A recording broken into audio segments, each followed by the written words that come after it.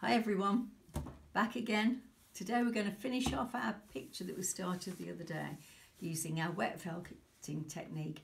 But today, before we start, I'll just show you an example of one that I, here's one I made earlier, which is a wet felted background, as you can see. I'll turn it over so you can have a look. Homemade, handmade felt on the back. And then all these embellishments were added with needle felting. This is the kind of needle you need for needle felting.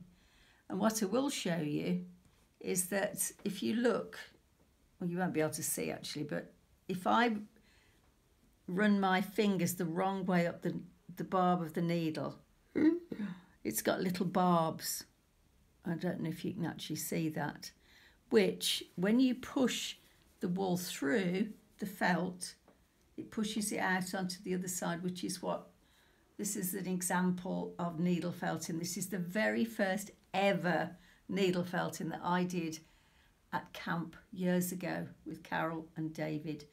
And that's the inspiration for all the things I do now.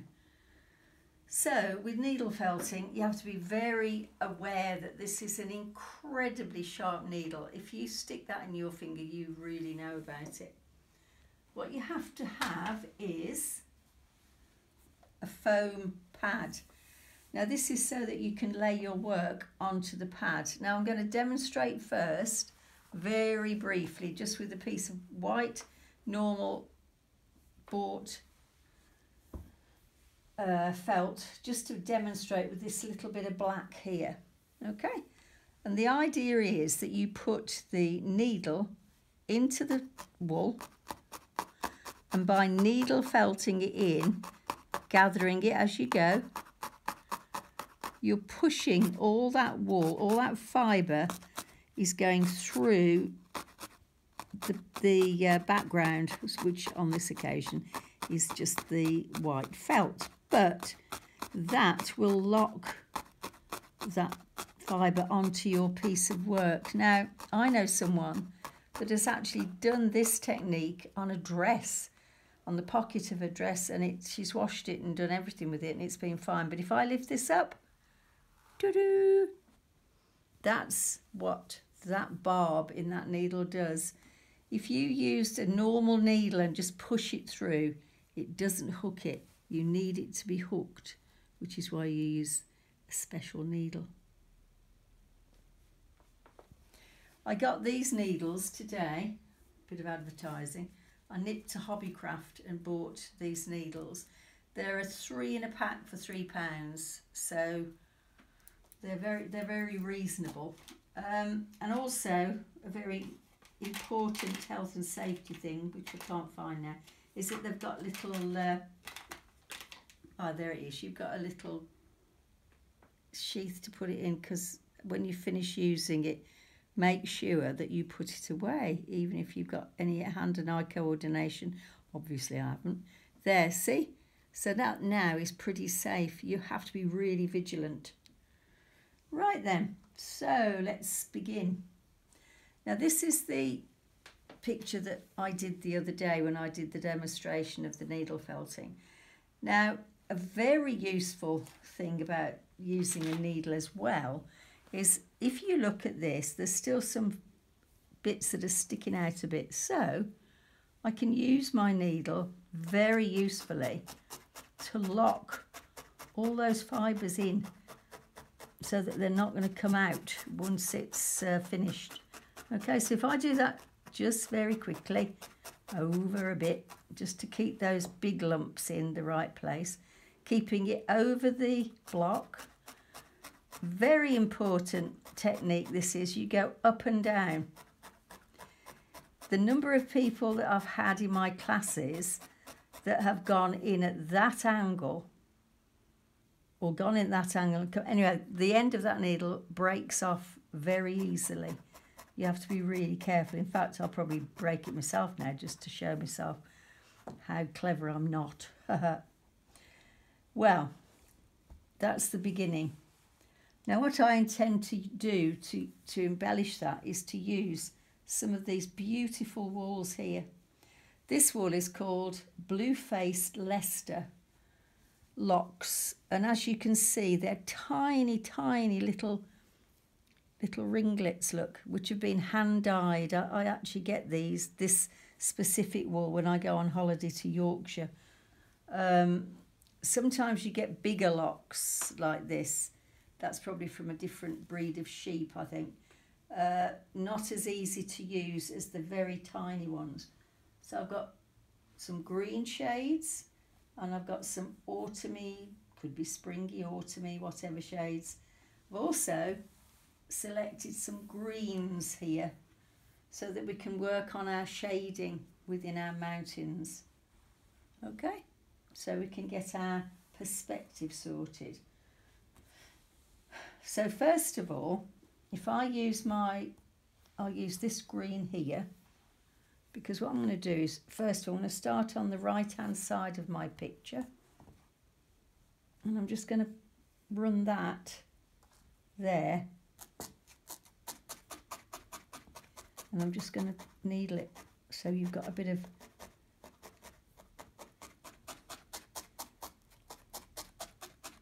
depth of colour just gives you the idea of the shading on that side of the hill. Now when you're needle felting when you've got bits like this that are hanging out, all you have to do is tuck them in and push them in. And then they're back where they should be. So I'll turn it over again. You'll see the magic. See, it's needle felted itself to the block, which is good. And there it is. It's all locked. And there was our felt that we made last time. Okay, now I'm going to have a look at this part here because I think this little bit here needs to be a little bit lighter because the sun is over here. So the light source is coming from this direction. We're just going to put a little bit of this lighter green. Actually, that's the same as that one. We'll put a bit of this lighter green. Now, when you sometimes you look at colours and you think, nah, that's not never going to work.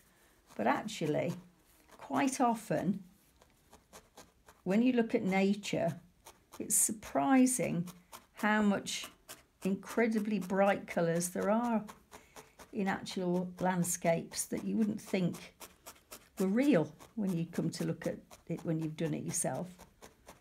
That's just to give you an idea of there's a bit of a depth going on there. Okay. This is a whistle stop tour of uh, needle felting, obviously because now I'm going to do at the front, I'm going to put a hedge in the front. Now, another very important thing about using these walls, you don't cut it. It's like the same as when we did our felting, wet felting for the background. You never cut it. You only, you might trim your picture when you finish, but you don't actually go as far as cutting the wall. You pull it off then when I feed this in, you'll see that I'm actually creating a hedge line because in a minute in my field here where the hedge is, we're going to have a sheep. So we're going to need a hedge to keep that sheep in. Okay. We've got different shades of green, so we can have a bit of a darker shade. In fact, this here, which is incredibly dark, that would be perfect for on our hillside here to have a line of fir trees in the distance.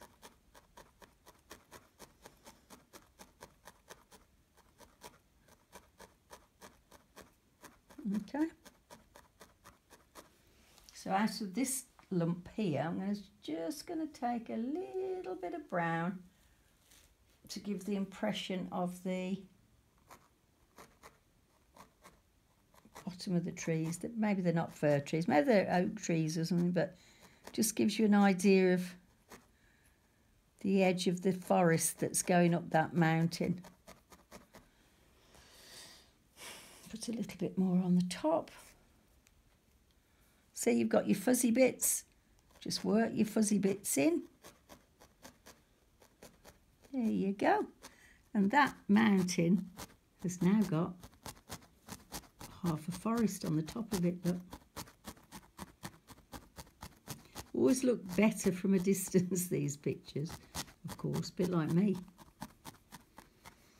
Right, so we've got a hedge at the front. If you didn't want a hedge and you wanted to have a brick wall, a stone wall, you could just try and figure out whether you've got a bit of grey in there. There's a bit of grey there, look, because these are hand dyed uh, and they're all different shades. So I think we'll have a bit of, this can be a stone wall on this part here. That's going to be a bit chunkier. Okay. There you go. Little tiny bit more grey in that one, I think. Let's just have a look here. Let's try and find a bit of grey. There's a bit of grey there, look. Feeding it in again. So there's your stone wall. A lot of the pictures that I do are modelled on things I've seen in Yorkshire, so a lot of stone walls up there in the Dales. Okay, so there's your foreground. Now, on the hillside over there, you've probably got a bit of uh, heather or bracken going on. So let's put a bit of this over here on this edge here because texture is the thing This is the bracken up on the hill.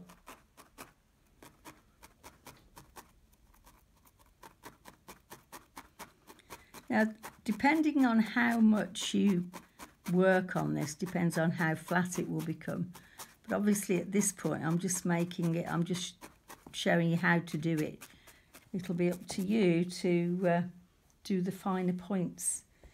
In that little space there, I am actually going to cut some wool. Now this is not felting wool, this is just normal wool because I'm going to make a little gate here.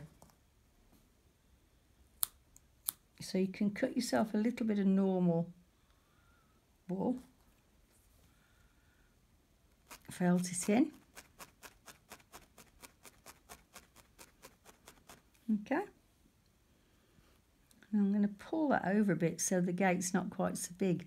Because that's the other amazing thing about any felting project is that if you don't feel you like what you've just done, you can actually just pull it off and start again.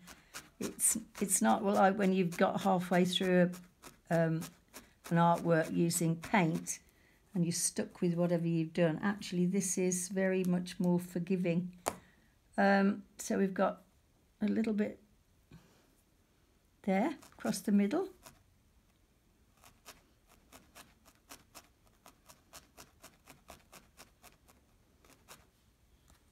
And a little bit on the top. And it looks like you've got your five bar gate, but mine's only got two bars, but nobody's counting, are they? So there's your gate. Okay.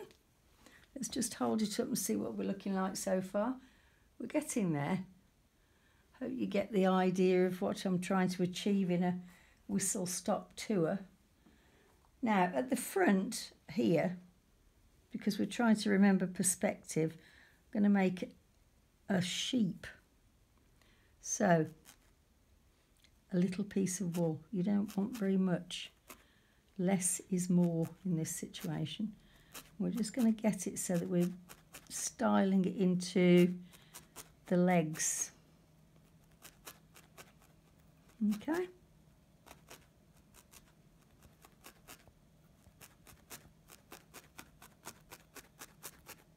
Quite fat legs, but anyway. Some sheep have fat legs. And then a little lump of wool.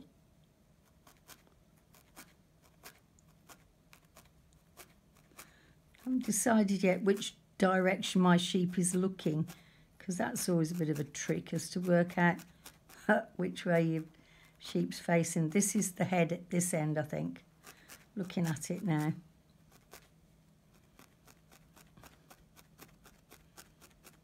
And we need a little black nose. So to do the nose, I'm just going to roll that up a bit because that needs to be seriously small.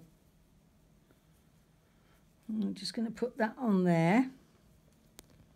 Quite a big nose to start, but I will work it in.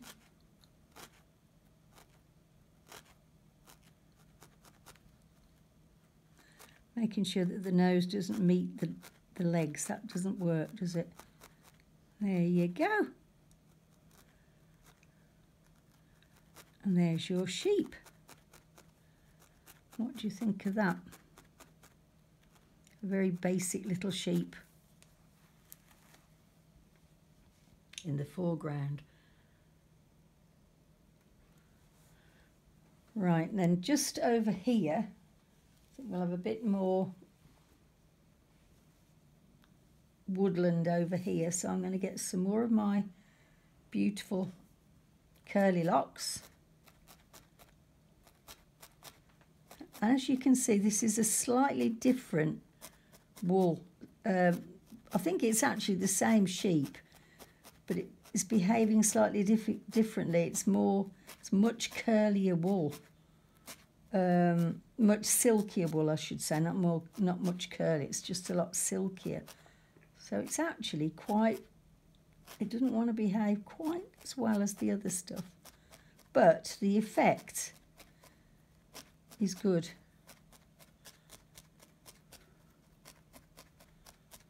Okay. How are we looking? See, from a distance, we're getting the idea, aren't we? I think what we'll do on this, over this, the brow, this hill here as well, we'll put a bit more green to give the idea of, again, another the hillside over there with trees over the back. I'm going to feed it in. Do not push it through your finger because you won't half know about it.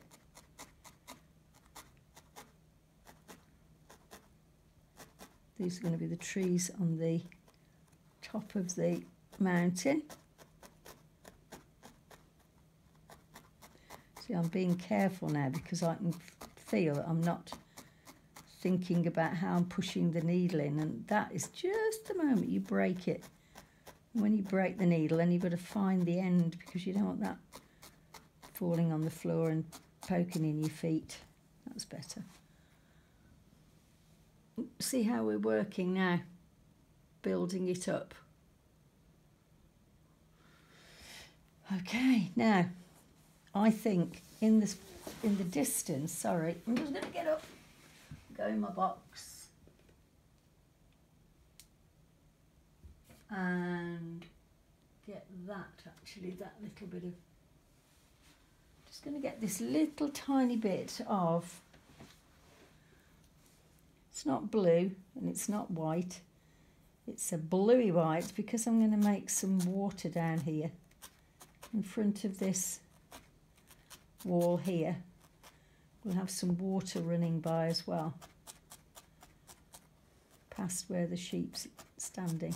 Now, when I've got, if I've got too much wool like that, what I'll do is I'll just pull it off. Again, very carefully so you don't snag it, but okay. We've even got a river running through at the front. Just trying to keep your idea of perspective.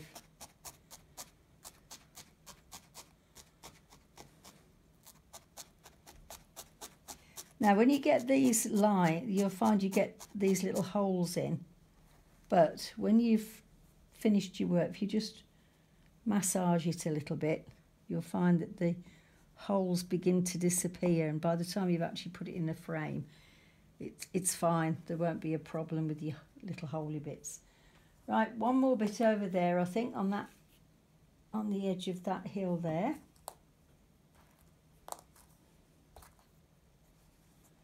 Then I think at this point we finish this because we don't need to um, I don't think we need to put any more detail on it at this point.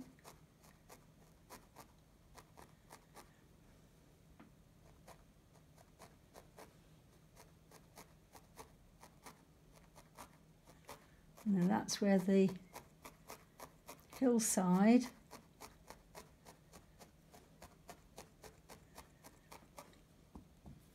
is running down into the valley. On the top of there, actually, we could have a little bit of corn or something, I think, or I don't know, something yellowy, because we're catching the rays of the sun again, so a bit more here, I think.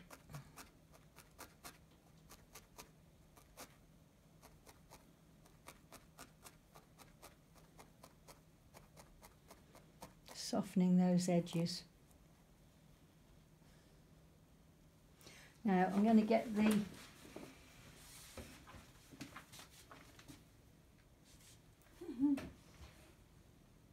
it is, I've got it.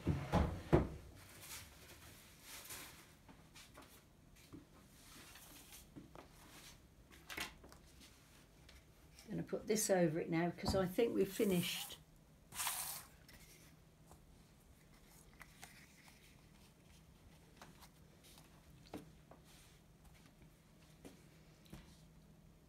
would recommend when you actually uh, frame your work is that you frame it in a in a frame that has a raised border.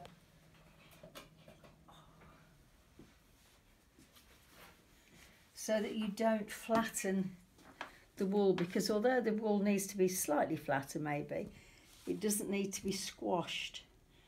Uh, this is one, again, that I did before, which is a copy of Klimt's uh, Birch Forest using the same walls and actually the same normal knitting wool for the trunks of the trees. But if you notice, it is a raised uh, mount which gives the wool room to breathe. Okay, hope you've enjoyed that. Um, I've enjoyed doing it. I'm sweating a bit now, but I'm glad you came and joined me and uh, see you soon. Bye.